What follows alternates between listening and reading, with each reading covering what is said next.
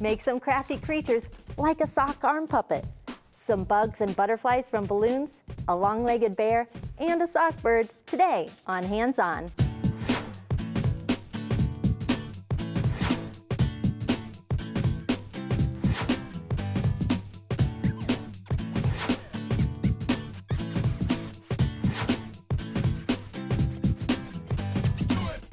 Hands On is made possible by Elmer's Products Incorporated, manufacturers of a variety of adhesives, arts and crafts, and office products for use at home, school, or business. Elmers.com. Floracraft Foam. Make it fun. MakeItFunCrafts.com.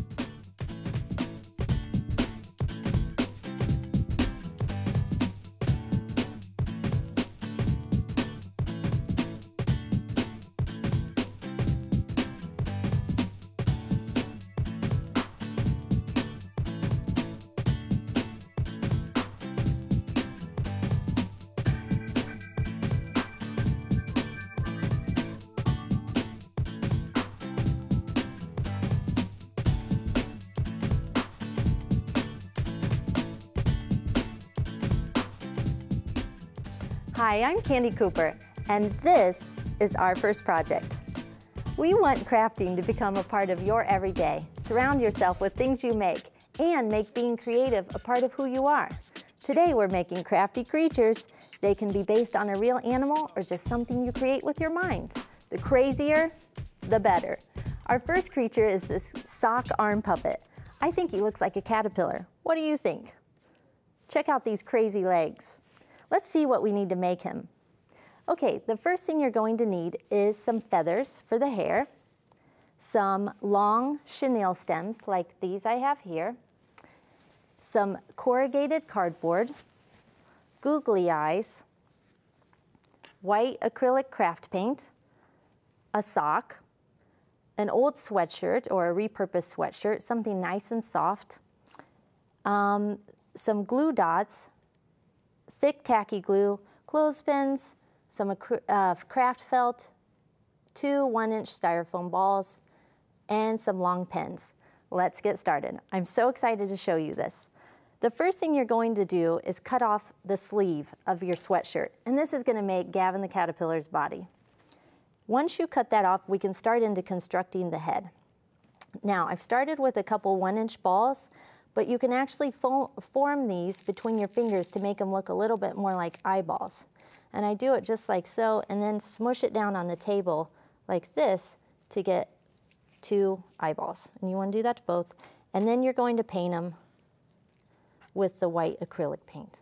And that just, I know the foam is already white, but this makes them really bright, like funny, giant googly eyes. Once you get those painted, you're gonna use glue dots to attach the eyes, and I just press those off like that, and then put the eyes in place.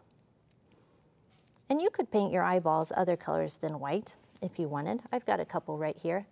All the patterns for Gavin's face are on our website.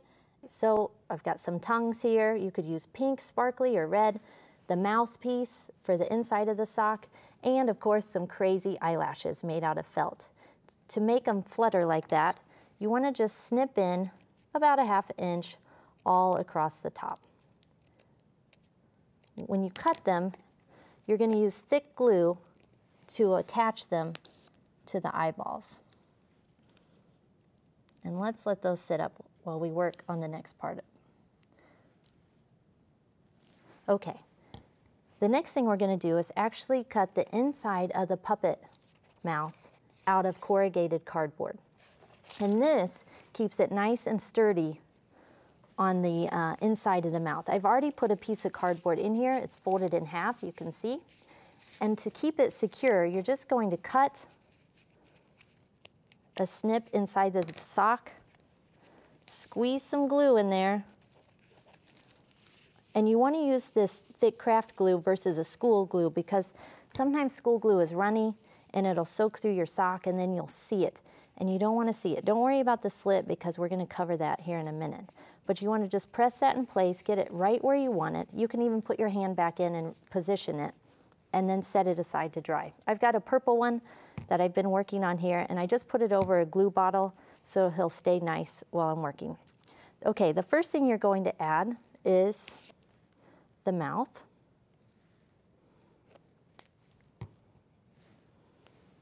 Followed by the tongue piece. We'll give her a pink tongue this time. And then on the outside, you can hold these in place with some um, clothespins if you want. On the outside, we're going to add the eyeballs. We'll stretch this down a little bit more. Now, this is kind of weird, but you're going to actually poke some pins. Let me get down here where I can show you.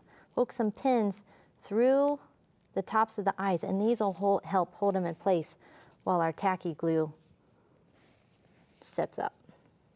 And I like to put them just behind the seam on the toe of the sock. Just a second, and I'll turn them around so you can see. And then just push that pin down so that it stays secure while it dries. And got one more. I already put glue on there, I forgot. Here we go. And he's starting to take shape, he or she. Gavin's kind of a boy or girl name these days. Okay, now I've cut a little piece of feather boa and glued it in a ring. And now I'm gonna just put some glue. You have to use a, a pretty hefty amount of glue when working with feathers because the core of the feather is down underneath all the fluff. So now we're just gonna set that right behind the eyeballs. And this is where either you can clothespin it. The felt doesn't weigh too much, so we can just clothespin this together. And you want to get it just how you like it before you clothespin it because it's going to take a couple hours to dry. And we could also stick some pins down through the middle. He looks pretty crazy with all this stuff coming out of him, doesn't he? Okay, very crazy. Okay, let's jump over to the sleeve and how we make the body. I've got my sleeve right here. So basically what you're going to do is put this on your arm and then grab whatever color you want of these ginormous chenille stems and then wrap them around so they're even and then make a twist a couple times. And this makes it, you don't have to glue them. This makes it so you can interchange the colors of your legs. You could make rainbow legs for your caterpillar. You can have a friend, this is a great part to have a friend help you do because it's more fun to craft with friends anyway. Okay, and you can give them a little bend like so at the end. And now our puppet is ready to take a walk. Let me put the finished one on so you can see the full picture. I may made this one a little bit snug. Here we go. And you can leave these on or you can slide them off.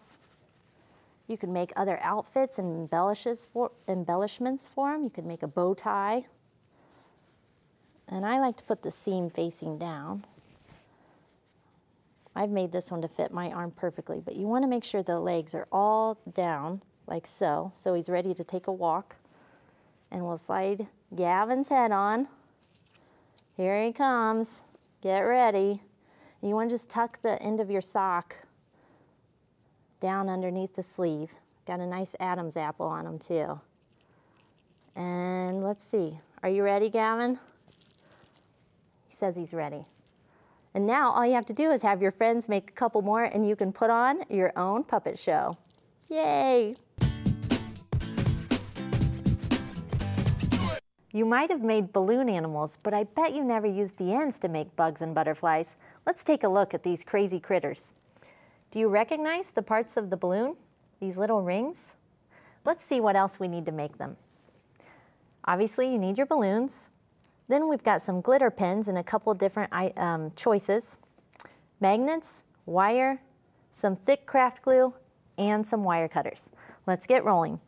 The first thing you're going to do is with your package of balloon, cut off all of the ends of the balloons. It's the part right where you put your mouth if you're going to blow it up. And I'm, I'm sure you can come up with something else to make with your extra balloon piece. So I would save those for later. When you're finished, you'll have several different rings. Now for the fun part of uh, laying them out into insects. I've got one that I've started here, and you can see that this is going to be the start of a dragonfly. To glue them down, you just want to add a ring of glue on directly onto your foam. And it doesn't matter if it kind of sticks out the ends because you're going to fill the centers and you're going to, um, the glue will dry clear. So no big deal if you're a little sloppy on this part. So you would just keep gluing and arranging as you go, making your insects or whatever shapes you want. And you'll have something that looks like this. Now I've got a couple different pens, some glitter glue pens that we're going to fill each of the balloon rings in with. Let's start with the head. And you don't have to, if it's a red balloon, you don't have to use a red glitter pin, but that's what I've got here. And then I'm going to use a, a swirly glitter pin for this one. And that comes out multicolored. And then you can add some yellow. And you would just keep filling until you have the entire bug glitters like that. To make the antenna, I've got one right here. You just need a little piece of wire. This is thin wire, 26 gauge. And you're gonna bend it in half and then grab the ends with your fingers and roll them down like so. And you could make them longer if you want. I'm doing little short ones here. So you have something like that. And this takes a minute, the glue takes a minute to set up, so you can still stick that in. And I think I'm gonna add a little bit more glitter on top to make sure it's really down in there. And then you would just set this aside to dry. It may take 24 hours depending on if you live in a humid uh, climate. And now I've got a blue and green one here that I did. You want to make sure that you put all your little balloon pieces in a safe spot and your wires. And now we're going to cut this out with some scissors. And you can choose to leave a little border or cut right up next to the balloons. I'm going to leave a little border of white. And then I'm going to come in here and on around the wing. This foam cuts so easy. It's like butter. And then come on down here. And then up like so. And on around. And you know, what I was just thinking is we're making magnets today, but these would also make really cute pins to give as a gift. You could put a pin back on the back instead of a magnet. And we're almost done cutting it out. And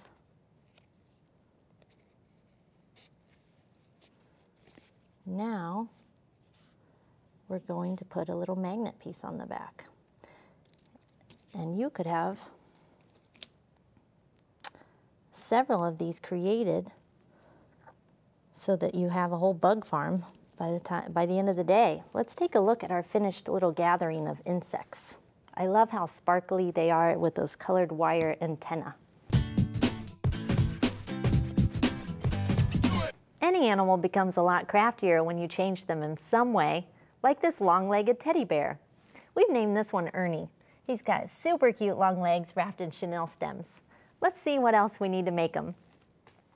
You'll need, of course, the chenille stems, especially the cinnamon color, cardstock, some cream-colored craft felt, some tiny embellishments like glass beads, a tan pom-pom, a pin, possibly some fishing weights, toothpicks, two, or excuse me, you only need one one-inch craft ball, a styrofoam egg, a three inch styrofoam ball, and a large styrofoam egg, some cinnamon acrylic paint, a dowel rod, some thick craft glue, and we're ready to get started.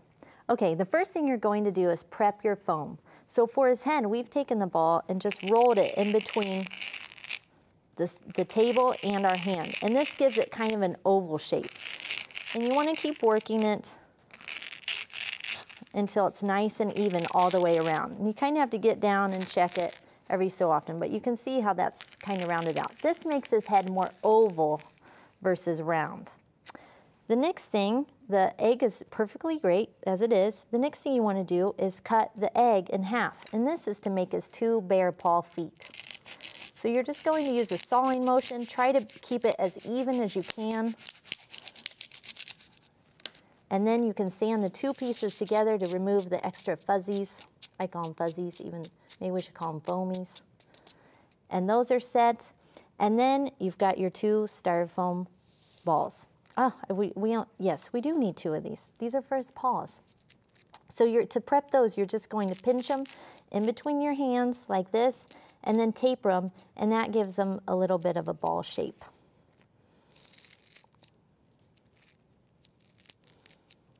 Okay, so we've got two paws and two feet. We're good to go. Now, we're going, to use this cinnamon colored paint so it matches our chenille stems, and you're just going to paint over all of your foam surfaces. And you want to make sure that you get a good amount of paint on the end of your brush because that's what gets down into the pores of the styrofoam. Just like so. So paint each and every single one of your styrofoam pieces. Let me set these aside. I've got some ready to go. Now, to assemble your teddy bear, he's got lots of little parts and pieces. One thing, once you get your egg painted, you'll want to take the end of it, the tapered end, and push it down on the end of a table because this gives it a flat spot for where his head is going to connect. So the first thing I'm going to do is put a toothpick in and then I'm going to apply a lot of glue like so. And then I'm going to use a skewer to kind of start the hole for where his neck will be. And you're going to put those two together like so. And that gives him a nice sturdy head.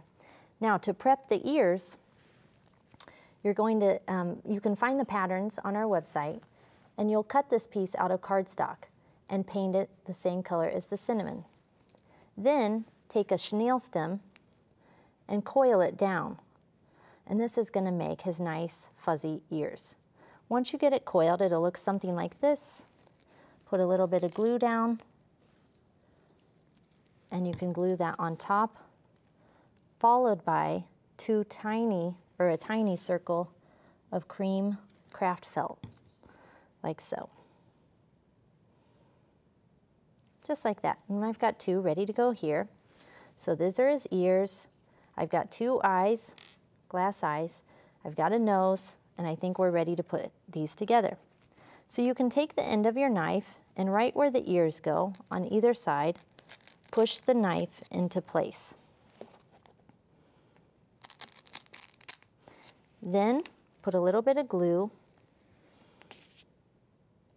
over the slits don't worry if you get a little bit where it's not supposed to be. That'll dry clear. And then you set these into place with the little tabs. Those go right down in our slots, like so.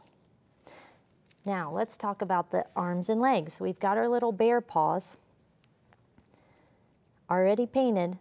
And to make them, you take the end of a chenille stem and then wrap it with another like so. And you can see we've done that. And then you just poke those down into the ends of your paws. And that makes his two arms. Let's put those in.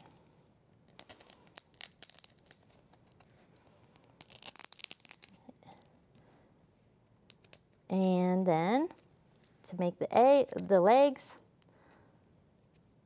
we'll make that one waving.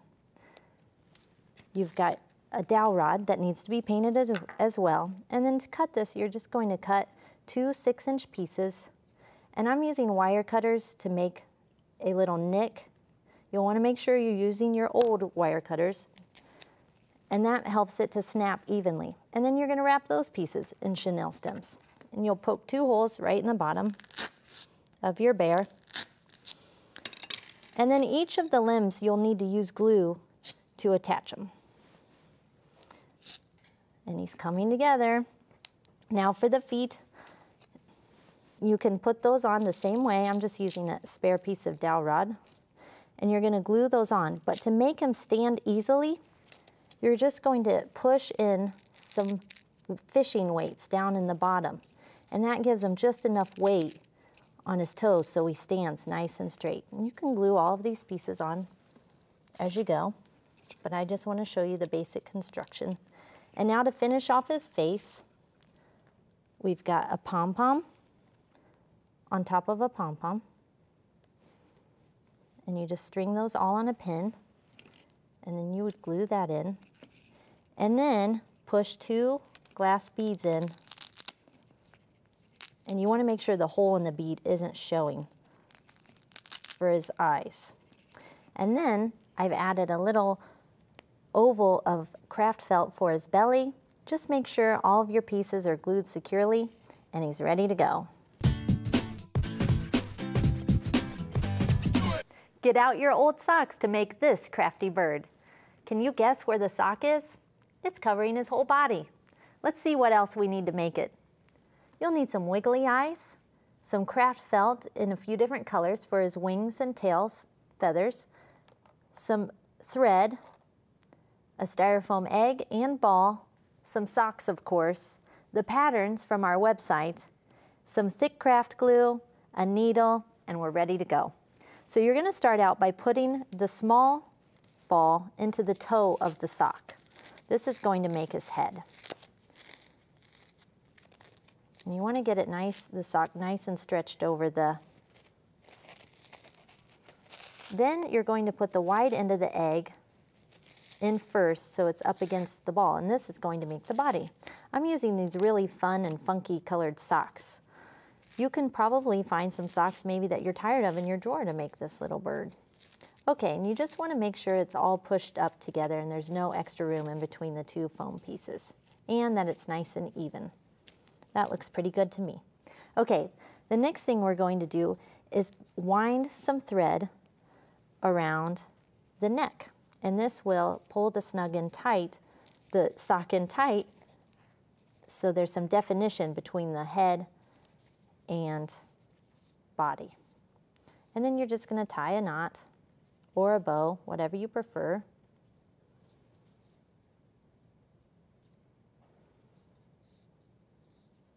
like so, and one more to make sure it's secure. And I think we got it. And then you're going to trim the ends so it's not all loose and raggedy. Okay, let's do the same thing for the back. I love the rim of this sock, how it's hot pink. Okay, we're gonna leave a little bit of tail and then we're just going to wind again. And that should do it. And then you're going to repeat tie, tying a little knot here, like so. Now we need to be thinking about what colors we want to make our wings and tail feathers. For this bird, I'm making it in green and aqua. And remember our patterns are on the website you'll want to cut out two large hearts for the wings, two small hearts for the wings, the beaks, and one each of the tail feathers. And to assemble these, you're just going to glue the two heart pieces together. I've already done that one. But you're just going to put them just like so. And we're going to go ahead and glue the tail, the small tail feather on top of the large tail feather. And then we're going to put a little bit of glue in the end of the sock and put those in so they kind of peek out the end. And then we're going to glue the wings on the sides. And you can use some pins to hold these in place while they dry. I'm using this thick craft glue again on fabric because it sits nicely on top of the surface. It's not too runny, so it's not going to saturate my sock. And I've got those nice and even. I need another pin to hold that down. And we're ready to give them some real personality. We're going to add a beak. You can glue just one beak piece or two to make him look like he might be, so he can chirp like birds do. And he's starting to come to life. Before I put the eyes on, I'm gonna uh, make it so he can hang like an ornament. And to do that, I've just threaded my needle with some thread, doubled it over. I'm making a little knot at the end so it doesn't sneak out the other side. And then you just skim through the surface of the sock, pull it up, cut the needle from the thread, and make another overhand knot. Can you imagine making these in holiday co colors so you can hang a bunch in your Christmas tree? They would look so cute. And now all you would do is add a couple dots for the eyes. Let's take a look at our crafty bird. He is so cute. Thanks for watching. See you next time as Hands On introduces some very unusual holidays. I bet they're ones you might not have heard of. See you soon. Projects and ideas from today's show, plus hundreds of other kids' craft projects for every occasion, season, and even school subject, are available on the web at craftsforkids.com. This is show 1501. Hands On is made possible by Elmer's Products Incorporated, manufacturers of a variety of adhesives, arts and crafts, and office products for use at home, school, or business. Elmers.com. Floracraft Foam. Make it fun. MakeItFunCrafts.com.